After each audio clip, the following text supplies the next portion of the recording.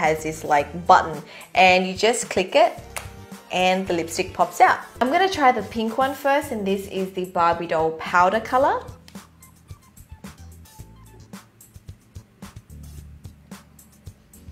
Oh, it does smell nice.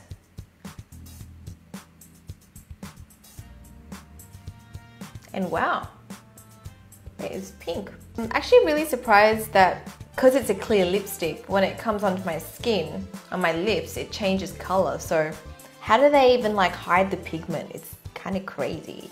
I feel like the color appeared and changed fairly quickly. I didn't really have to wait too long because in this room currently it's quite hot because of all the lighting. So the temperature in this room definitely played a role in the color change in the lipstick. I do really like the color of this lipstick. It's perfect for summer. In saying that, I do love all the shades. I think it's perfect for a day look, perfect for spring and summer.